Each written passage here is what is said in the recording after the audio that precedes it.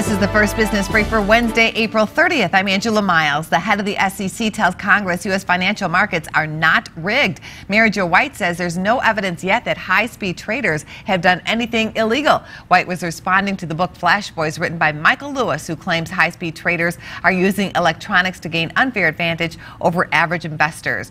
A couple of luxury car companies are recalling vehicles. Mercedes Benz is recalling 284,000 C Class cars for a possible failure failure with the rear lights caused by corrosion. Replacement parts will be available late summer. At BMW, 156,000 cars and SUVs will be recalled next month to replace faulty bolts that could cause the engine to lose power or stall. And consumers put the price of mom at about $160 this Mother's Day. According to the NRF, that's about $3 less than they spent last year.